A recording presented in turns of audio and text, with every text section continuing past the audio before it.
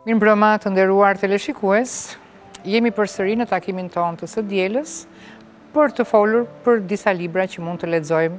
Dhe unë kam bërë një kërkim tjetër, Kam lexuar libra të tjerë dhe kësaj radhe nuk kam ardhur më me, vetëm me letërsi, ose le të themi që nuk kam letërsi kësaj radhe, por kam tre libra të cilët kanë tema të tjera, politike, sociologjike dhe historike. Të parin do të marr një autore shqiptare, që është mjaft e njohur tashmë prej kohe për lexuesin shqiptar, është Meri Lalaj, është poete, është përkthyese, është prozatore, Gjithashtu, ka disa libra të saj janë shumë të njohur për biografi autorësh të shquar si për shembull për Lasgush Poradecin, kurse këtë kësaj radhe unë ka desha të sjell në vëmendjen e lexuesit një libër të sajin Instituti Femnor Nana Mbretneshë. Meri Lalaj për të shkruar këtë libër, madje Meri ka qenë e ftuar në emisionin tim Kronikë e Pambaruar, por nuk patëm kohë të flasim shumë gjatë për këtë libër dhe atëherë unë desha që të tërheq vëmendjen më tepër për punën që ka bërë Meri Lalaj, por dhe për përmbajtjen dhe për njohjen e këtij instituti femnor kaq të rëndësishëm në një periudhë të kaluar të historisë sonë, kur Shqipëria ende ishte një shtet i brishtë, megjithatë,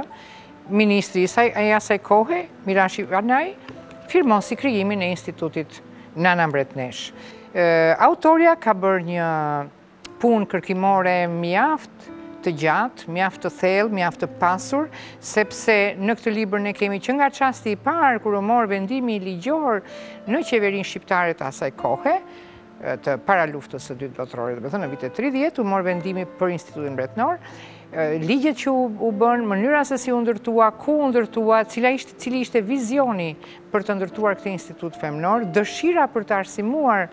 gratë dhe vajzat shqiptare, Prej andej kemi shumë material dokumentar dhe material memuari domethënë dhe kujtime të disa prej nxënëseve le të themi të këtij instituti dhe aty ka pasur gra të shquara që më vonë iu dëgjua shumë emri në disa fusha të jetës shqiptare, disa prej tyre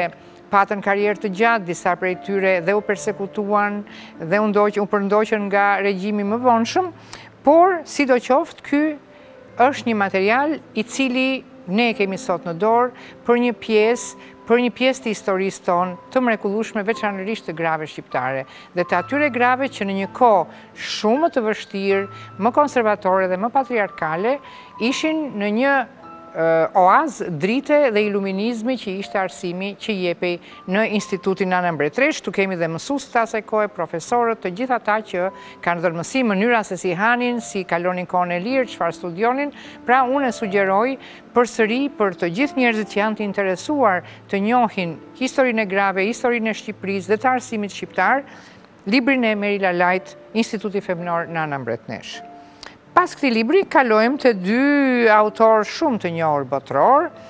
që janë, që merren me çështje të diplomacisë globale, të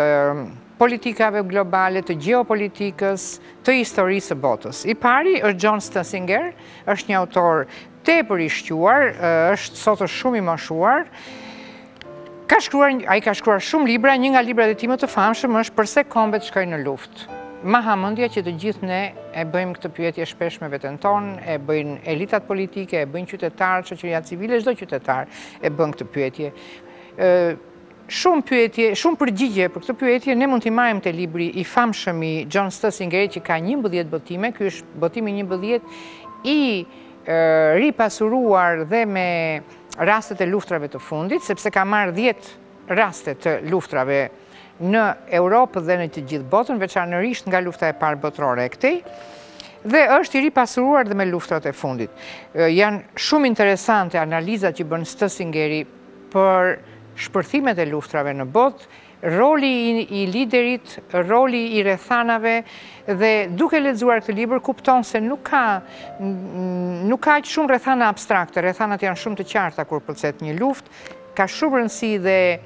personazhi kryesor që drejton shtetin apo kombin apo një aleancë apo një një vend shumë të madh.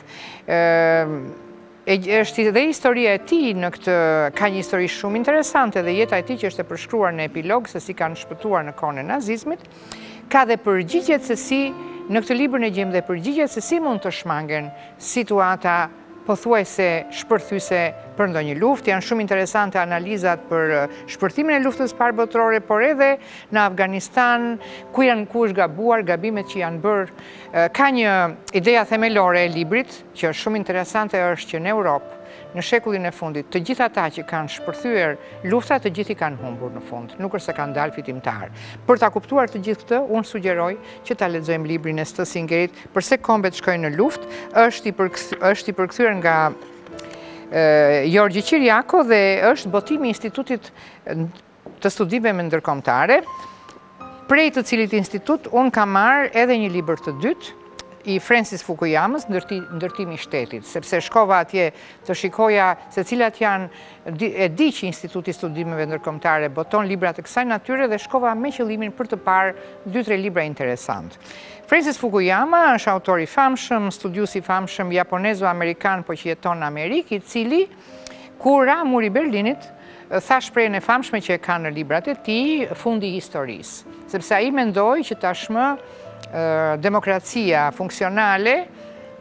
dhe tregu dhe funksionimi i tregut i dha fund një herë mirë diktaturave dhe regjimeve totalitare, gjë që ai vetë më vonë e ka kuptuar, është tërhequr si të thuash nga tërësia e kësaj teze absolute dhe ka shkruar dhe libra të tjerë, është një nga le të themi mendimtarët dhe analistët e politikave botërore nga më origjinalët, shpesh herë mjaft i kundërshtuar, në këtë libër Ndërtimi i shtetit, qeverisja dhe rendi botëror në shekullin e njëzet e një, pra është i kohëve të fundit ky libër, ai përpiqet të japi disa ide gjithmonë shumë, le të themi, që mundet edhe të kundërshtohen, si për shembull ai thotë që Arsyeja e problemeve janë shtetet e dobëta dhe të pa dhe të pandërtuara mirë dhe se shoqëria civile dhe shtetet e mëdha që funksionojnë më mirë dhe që kanë një good governance, që kanë një qeverisje të mirë, duhet t'i ndihmojnë këto të vogla. Tezë të cilën gjithashtu ai e hedh poshtë me veten ose e kundërshton herë pas here edhe vetë, e rimerr, e analizon. Pra shumë interesante të lexohet Një analizë gjithnjë e Francis Fukuyamës sepse ne aq më tepër që jemi një demokraci në rritje e sipër, në ecje e sipër, libra të tillë na ndihmojnë të kuptojmë dhe ne ku i kemi problematikat, si a na ngjajnë dhe me të vendeve të tjera, çfarë mendojnë mendjet e mëdha të botës për këto çështje. Pra siç e thashë është përsëri një botim i Institutit të Studimeve Ndërkombëtare dhe këtë libër e ka përkthyer Erion Shehi. Dhe redaktuar nga Remzi Lani, pra është gjithnjë një botim i mirë për ta marrë në dorë, siç janë të gjitha botimet e Institutit të Studimeve Ndërkombëtare. Me kaq e mbyllim për sonte, duke shpresuar që unë të dielën tjetër do të flas për libra që janë më shumë të lidhur me letërsinë, por mendoj se edhe këto janë tepër të rëndësishëm për të plotësuar njohuritë tona dhe për të reflektuar dhe për të menduar mbi botën edhe në mënyrë më të argumentuar. Ju faleminderit që më ndoqët. Të dielën tjetër.